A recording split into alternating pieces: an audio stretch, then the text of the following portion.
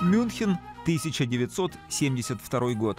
Принимая летние Олимпийские игры, Германия хотела показать всему миру, что она веселая, красочная, космополитичная страна.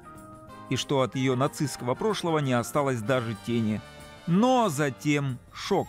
Палестинские боевики из группы «Черный сентябрь» захватили резиденцию израильских спортсменов в Олимпийской деревне, надеясь освободить заключенных в Израиле и Германии.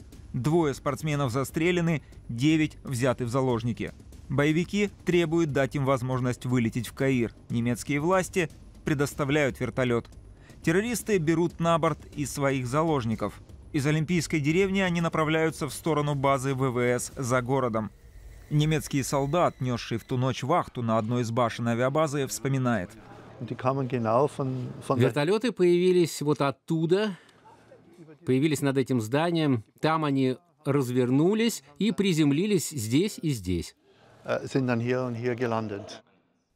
Ганс Фёлькель как раз заступил в ночную смену, и никто не сообщил ему, что именно происходит перед его окнами. Я был здесь и с этой позиции все и наблюдал. До того, пока не началась стрельба. Тогда я решил спуститься.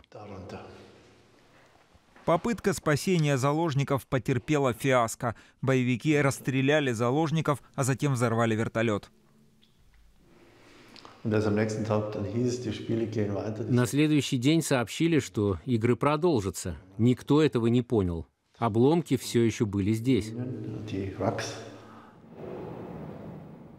Все девять заложников погибли, а также немецкий полицейский и пятеро боевиков. Продолжение Олимпиады родственники погибших восприняли как издевательство. Анки Шпицер и Илана Романа потеряли своих мужей.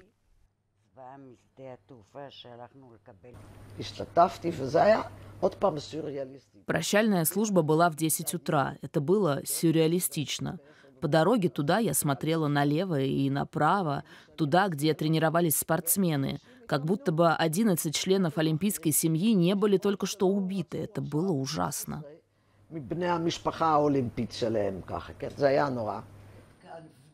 После шокирующих событий 50 лет переговоров. Родственники жертв боролись за доступ к файлам и за компенсацию от немецких властей. Моя скорбь с годами стала только сильнее. Если кто-то говорит, что время залечивает раны, я отвечаю, время не лечит ничего.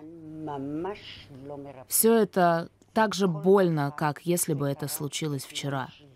Когда слышишь, что прошло уже 50 лет, просто не веришь в это.